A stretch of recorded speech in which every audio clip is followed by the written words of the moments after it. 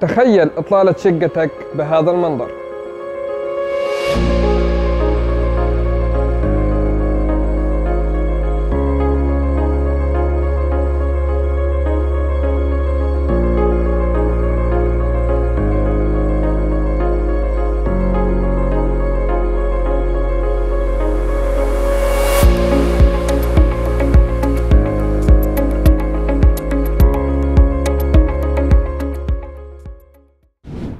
عرضنا اليوم شقق سكنية استثمارية في حي كاشستو.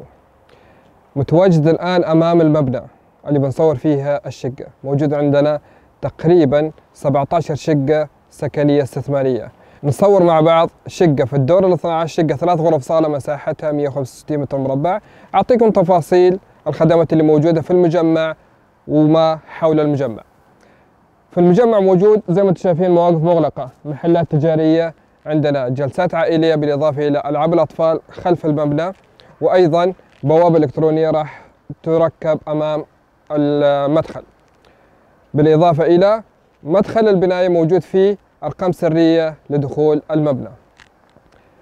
هذه الخدمات اللي موجودة داخل المجمع. الخدمات اللي موجودة أطراف المجمع سوبر ماركت بالقرب من المجمع. موقع المجمع مميز أنها بالقرب من جواهر مول. المسافة بين الموقع والمطار تقريبا سبع دقائق وأيضا الميدان عشر دقائق. موقع مميز في حي كاشستو مقابل جواهر مول وإطلالة مميزة جدا على البحر وعلى المدينة. تعالوا مع بعض نشوف مدخل المجمع ونشوف تفاصيل أكثر. تفضلوا معنا.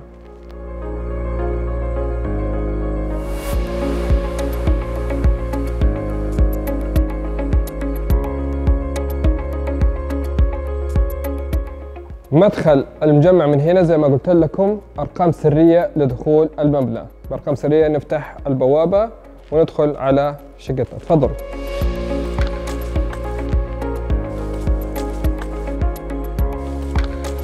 موجود في كل مبنى مصعدين زي ما أنتم شايفين مصاعد مساحتها كبيرة تسع لثمانية أشخاص والمصعد الثاني أيضا ثمانية أشخاص. نطلع مع بعض فوق ونشوف تفاصيل أكثر على أرض الواقع.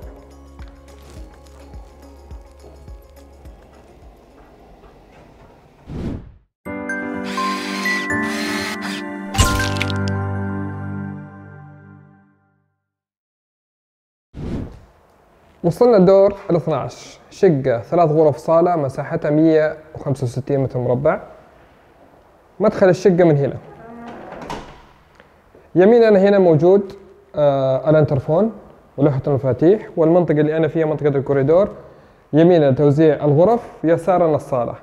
المنطقة هذه نقدر نحط فيها دولاب خاص بالأحذية والعبايات ونقفل مواسير التدفئة. هذه المواسير في بعض الشقق موجودة تكون بارزة على أساس أنه الفني والصياني يوم يجوا يكون فيها عطل لا سمح الله يجوا يشوفوا العطل. نتوجه إلى الصالة. زي ما قلت لكم أرضيات الكوريدور والصالة كلها مع الغرف باركيه عندنا ديكورات سقفية. مساحة الصالة 30 متر مربع 5 في 6 واجهتها زجاجية واجهة إطلالة بحرية رائعة. إطلالة أمامية ممتازة جدا على البحر وعلى المدينة. عندنا مخرج البلكونة من جهة الصالة. البلكونة هذه مشتركة بين الصالة والمطبخ. مساحة البلكونة تقريبا مترين ونص في ثلاثة أمتار يعني تسع تقريبا اثنين في ثلاثة ستة أمتار. إطلالتها الرائعة على البحر وعلى المدينة. المجمع في منطقة كاشستو. منطقة كاشستو معروفة أنها منطقة حيوية والموقع مقابل جواهر مول يعني تقريبا مشى على أقدام آه، عشر دقائق وبالسيارة تقريبا ثلاث دقائق. نتوجه إلى المطبخ. زي ما قلت لكم إن البلكونة هذه مشتركة بين المطبخ والصالة. طلعنا من الصالة جينا البلكونة شرحنا وبعدين توجهنا إلى المطبخ. حاليا أنا في المطبخ دواليب راكبة وجاهزة. جهة واحدة مركبين. أماكن الأجهزة الكهربائية الثلاجة غسالة الصحون الفرن وعيون الغاز والشفاط اللون أبيض خشب. جميل.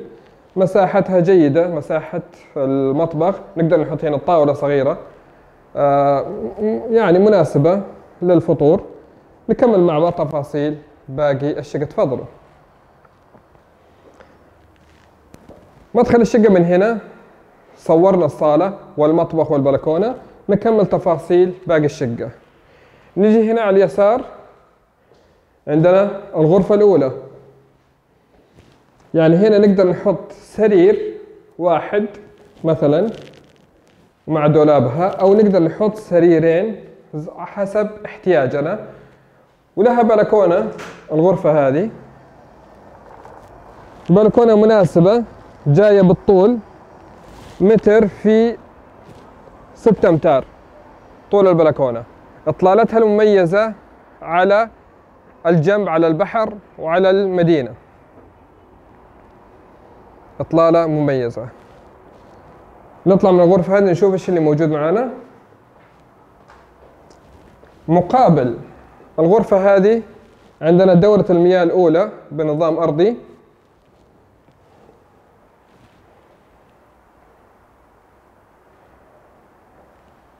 بجوار الغرفة الأولى عندنا الغرفة الثانية. الغرفة الثانية مساحتها تقريبا زي الغرفة الأولى واطلالتها برضو على البحر وعندنا برضو امتداد البلكونة جاية من الغرفة الأولى امتداد البلكونة.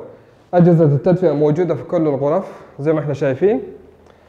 نجي هنا إلى الحمام وأنتم بكرامة الرئيسي. كمساحة جيدة للحمام مروش وكلوزت مكان للغسالة موجودة. وعندنا التدفئة أيضا موجودة التدفئة. آه، دولاب المغسلة موجود. مساحة جيدة لدورة المياه. نجي أخيرا لغرفة الماستر. لو تلاحظوا مساحة غرفة الماستر ممتازة. مكان مجهزين للسرير. ونقدر نحط هنا الدولاب. هذا رغبة. ونقدر نسوي شيء ثاني هم مجهزين منطقة ثانية. من دورة المياه نقدر نخش هنا. دورة المياه تابعة لغرفة النوم الرئيسية. مجهزين منطقة لخروج المخرج الطوارئ.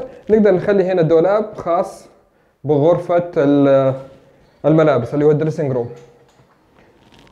يعني لنا حرية الاختيار أن نحط آه، طقم غرفة النوم كامل هنا أو نحط الدولاب داخلية. كذا أعطيناكم تفاصيل كاملة. شقة ثلاث غرف صالة مساحتها 165 متر مربع الدور ال 12 أرجو أن يكون الفيديو نال على إعجابكم.